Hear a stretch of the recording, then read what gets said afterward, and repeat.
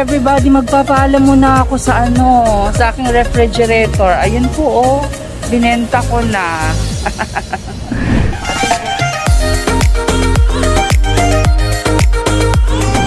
Binili na po ang aking refrigerator.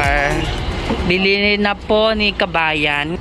Hi everybody, magpapaalam muna ako sa ano, sa aking refrigerator. Ayun po oh, binenta ko na. At least kahit pa paano, may bumili, 'di ba? So ayan, babae po ang nakabili tapos ay nutusan lang niya si Kabayan para kunin tong refrigerator dito sa aking bahay. That's the ref everyone. Goodbye refrigerator. Thank you for the years.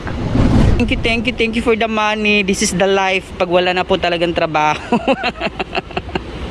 Inayos ni kabayan yung refrigerator kasi dapat nakatali, dapat hindi uuga-uga para magiging safe yung refrigerator.